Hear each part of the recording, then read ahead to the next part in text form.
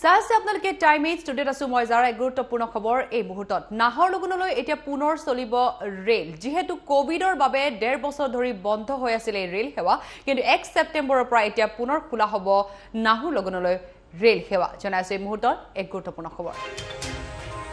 নাহৰ লগুণলৈ চলিব এতিয়া ৰেল। উত্তৰ অসমলৈ এটি ভাল খবৰ। বিগত ডেৰ বছৰ ধৰি বন্ধ হৈ আছিল এই ৰেল সেৱা। এক ছেপ্টেম্বৰৰ পৰা পুনৰ নাহৰ লগুণলৈ এতিয়া চলিব এই ৰেল। কভিডৰ বাবে বিগত ডেৰ বছৰ ধৰি বন্ধ হৈ আছিল ৰেল সেৱা।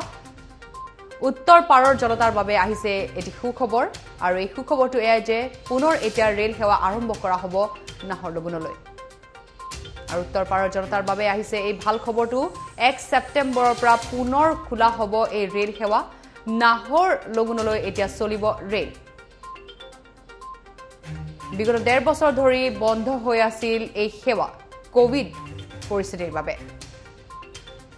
এতিয়া পুনৰ খোলা হ'ব এই ৰেল সেৱা। নাহৰ লগুণলৈ এতিয়া চলিব ৰেল। উত্তৰ পাৰৰ জনতাৰ বাবে আহিছে এই সুখবৰটো।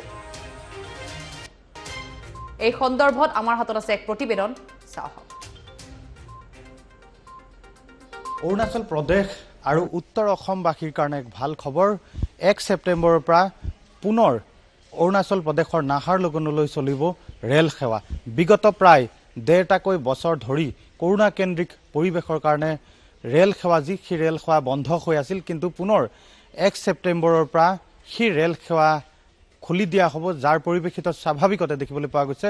অৰুণাচল প্ৰদেশৰ লগতে উত্তৰ অসমৰ যিসকল বাসিন্দা আছে তেওঁলোকৰ মনত সন্তুষ্টি দেখিবলৈ পোৱা গৈছে। এই মুহূৰ্তত মই উপস্থিত আছোঁ লখিমপুৰৰ যি হাৰমতি ৰেলৱে জংচনত আৰু হাৰমতি ৰেলৱে জংচন হৈছে যি অৰুণাচল প্ৰদেশ হওক বা অসমৰ উত্তৰ অসমৰ এটা আটাইতকৈ ডাঙৰ বুলি ক'লেও ভুল কোৱা নহ'ব ৰেল জংচন আৰু অৰুণাচল প্ৰদেশৰ মুখ্যমন্ত্ৰীৰে উত্তৰ পূব সীমান্তৰ ৰেলৱেৰ বৈঠকৰ পিছতে এক ছেপ্টেম্বৰৰ পৰা নাহাৰ লগুণলৈ পুনৰ ৰেল সেৱা আৰম্ভ কৰাৰ কথা কোৱা হৈছে আৰু যাৰ পৰিপ্ৰেক্ষিতত দেখিবলৈ পোৱা গৈছে যে এনেধৰণে যিসকল লোক আছে অৰুণাচল প্ৰদেশৰ লোক আছে বা উত্তৰ অসমবাসী তেখেতসকলৰ মনত স্বাভাৱিকতে সন্তুষ্টি দেখিবলৈ পোৱা গৈছে। কাৰণ অৰুণাচল প্ৰদেশৰ যিসকল লোক আছে বা অসমৰ যিসকল লোক আছে তেখেতসকলে গুৱাহাটীলৈ হওক বা অন্যান্য প্ৰান্তলৈ তেখেতসকলে এই ৰেল সেৱাৰ ওপৰতে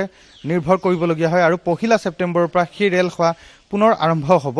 অৰুণাচল চৰকাৰৰ সেউজ সংকেতৰ পাছতে উত্তৰ পূব সীমান্ত ৰেলৱে পাহৰ পাহাৰীয়া ৰাজ্যখনৰ ৰাজধানী ইটানগৰৰ সমীপৱৰ্তী নাহাৰ লগনলৈ কোৱা হৈছে তিনিখন যাত্ৰীবাহী ৰেলৰ পুনৰ চলাচলৰ সিদ্ধান্ত গ্ৰহণ কৰা হৈছে আৰু ইয়াৰ ভিতৰত গুৱাহাটী নাহাৰ লগন দহি পলু যিখন এক্সপ্ৰেছ আছে বা গুৱাহাটী নাহাৰ লগনৰ পৰা ডিব্ৰুগড় যিখন শতাব্দী এক্সপ্ৰেছ আছে সেই কেইখনৰ কথা উল্লেখ কৰা হৈছে।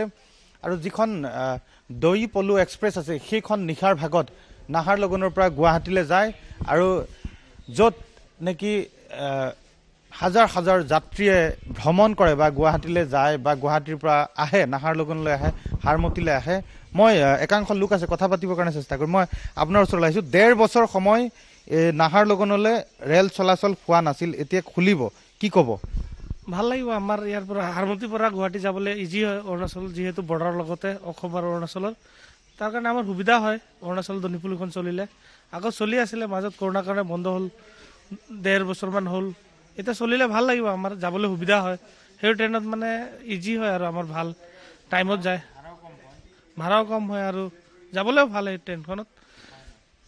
ঠিক আছে মই ধন্যবাদ জনাইছোঁ। মই আন একাংশ লোকৰ সৈতে কথা পাতিবৰ কাৰণে চেষ্টা কৰিম। দাদা মই আপোনাৰ ওচৰলৈ আহিছোঁ। গম পাইছে যে নাহাৰ লগনলৈ প্ৰায় ডেৰ বছৰ সময় ৰেল চলাচল বন্ধ আছিল। এতিয়া যিহেতু এইখন ষ্টেচনৰ প্ৰায় সৰহ সংখ্যক যাত্ৰী নাহাৰ লগন হওক বা গুৱাহাটীলৈ অহা যোৱা কৰে। এক ছেপ্টেম্বৰৰ পৰা নাহাৰ লগনলৈ বা অৰুণাচললৈ ৰেল সেৱা মুকলি কৰিব। কি ক'ব এই মুহূৰ্তত?